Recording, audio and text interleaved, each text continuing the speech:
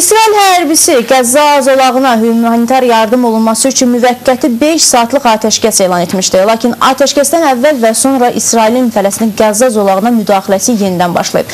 Ölkə hərbisinə məxsus hava qüvvələri Həmasın mövqelərinə raket zərbələri ilə atəş tutub. Raket zərbələrindən biri Qəzza çimərliyində oynayan uşaqlara tuş gəlib. Hadisə nəticəsində 4 uşaq ölüb, bir nəfər isə ağır yaralanıb.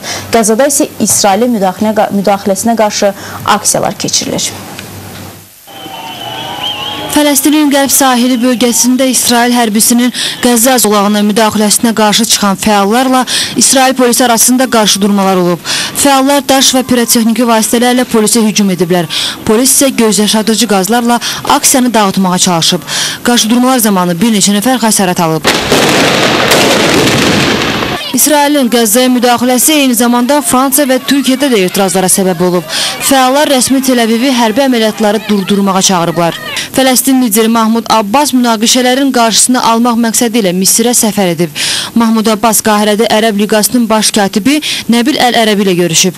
Görüşdə problemin həlli yollarına dair təkliflər müzakirə olunub. Bu arada İsrailin baş naziri Benyamin Netanyahu Həmasın atəşkəs rejimini qəbul etməməsi ilə iki ölkə arasında Qəzza probleminin diplomatik yolla həllinə son qoyulduğunu deyib.